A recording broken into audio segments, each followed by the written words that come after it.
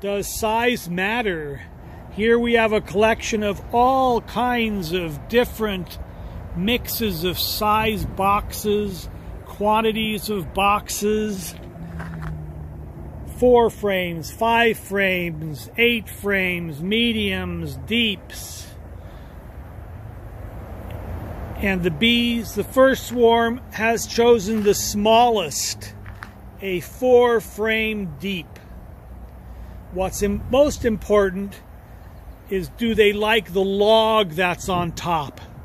You have to have the log on top or the rotten piece of stump.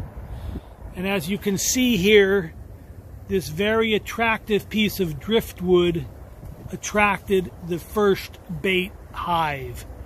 Remember what Uncle Ollie says. It's the log. It's the log.